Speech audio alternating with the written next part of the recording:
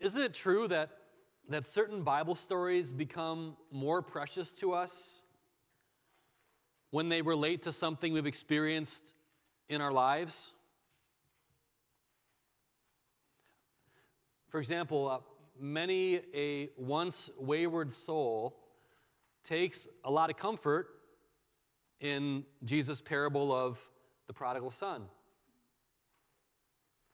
Or many people who have gone through an especially difficult or, or stormy period just love the story of, of Jesus calming the storm.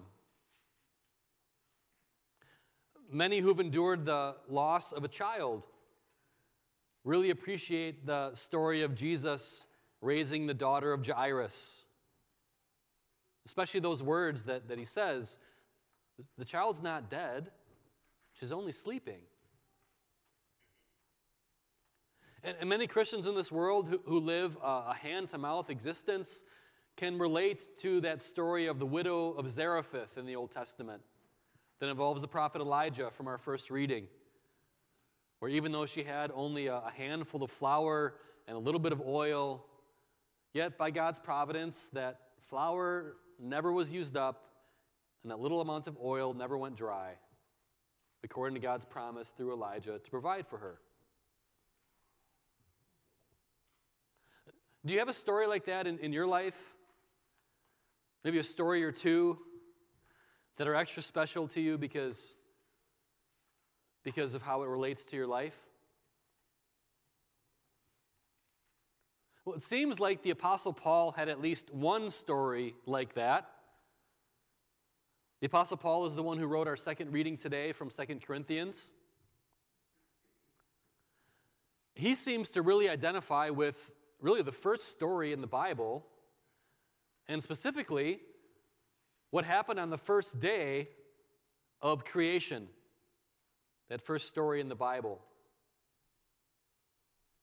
When he hears how God said on, on day one of creation, Let there be light, let light shine out of darkness.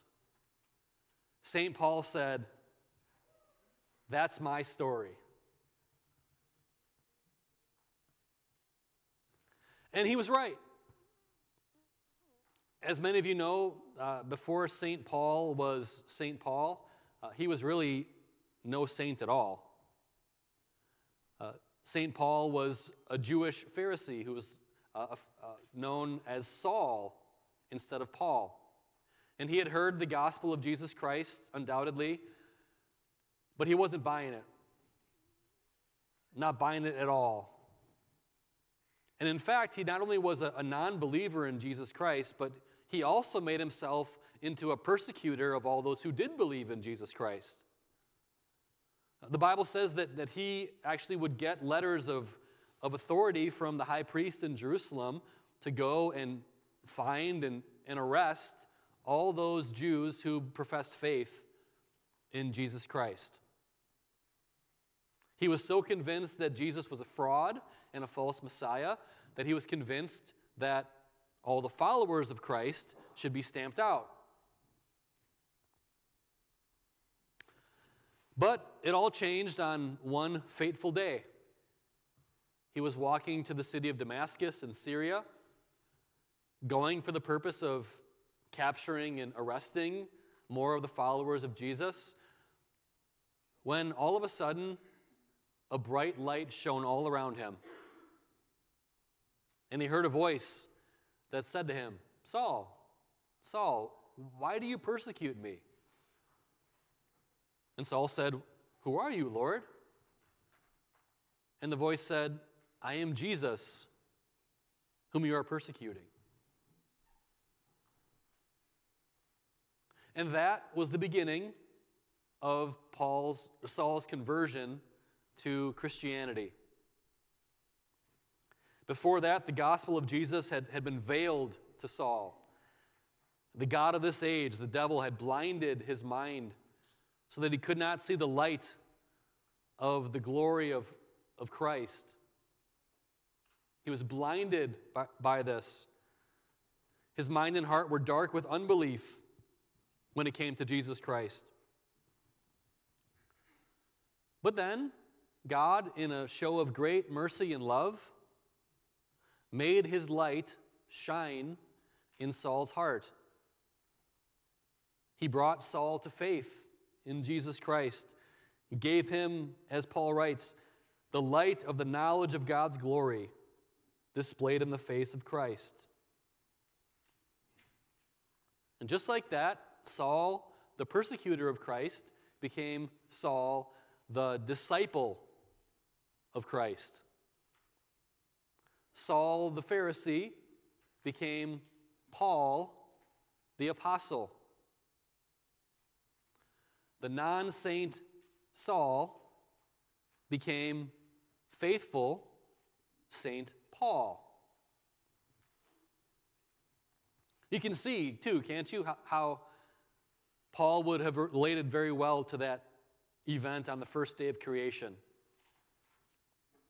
Just like in the beginning of creation, there was absolute darkness, absolute absence of light.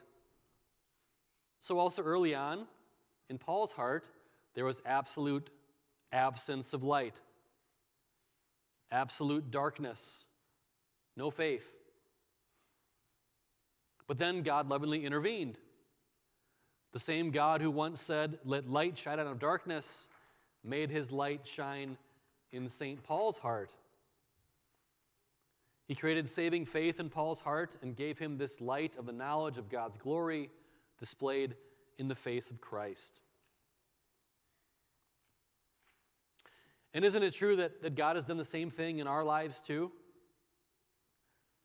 Because we're born sinful, we're born without the light of faith in our hearts. Our hearts are dark with the absence of God's light. But then God intervened in our lives and He planted the light of faith within us. God went to work on us. By His almighty power, He cured our spiritual blindness. By His Spirit, He unveiled the gospel.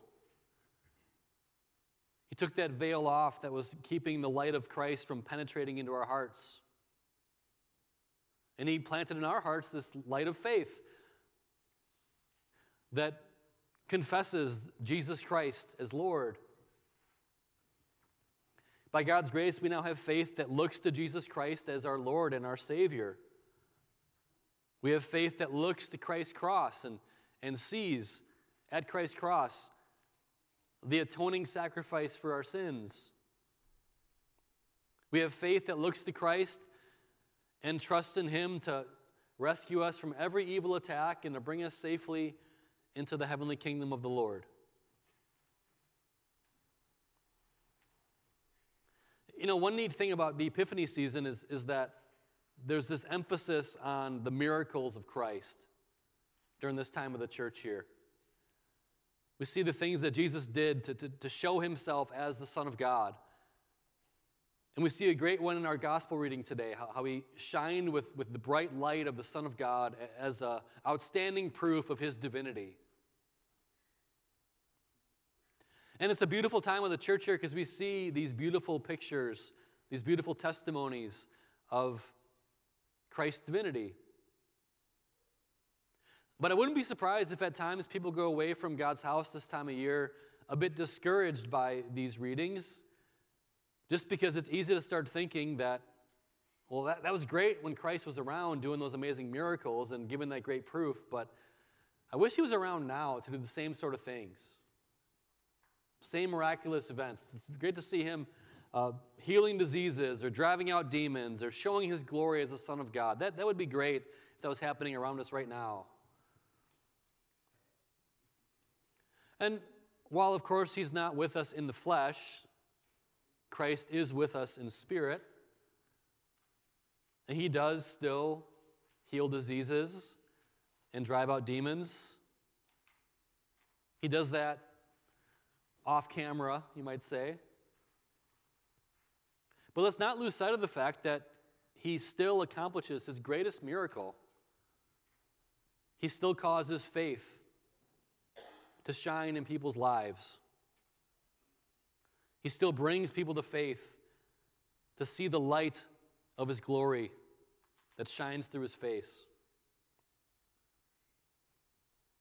It happens sometimes like a light switch flipping on. It happens sometimes like a slow sunrise, but whether it happens quickly or slowly, the Lord causes his light to shine in people's hearts. And he still works out a miracle among us through his word. So, a day like today is a good day to remember this great miracle God works. He works faith in people's hearts purely by grace because he loves people and wants them all to be saved. And so, on this last Sunday in the season of Epiphany, during this season in which we see the, the glory of Christ shining forth in so many ways, let's give thanks for what he's done in our hearts today.